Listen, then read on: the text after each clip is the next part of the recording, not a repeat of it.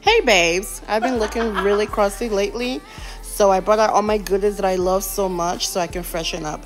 The first thing here is the Olay body wash. I love this one. Is This one is hyaluronic and uh, niacinamide ones. Those are my two top favorite ones, and I love that body wash. For my face wash, I've been using the CeraVe um, cream to foam because I like to have that foamy vibe to kind of give me that clean look, clean finish, I guess. It makes me feel better.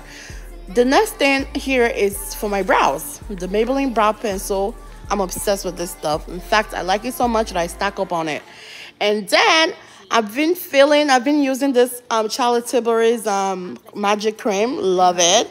And here's your girl looking all cute and feeling better about myself.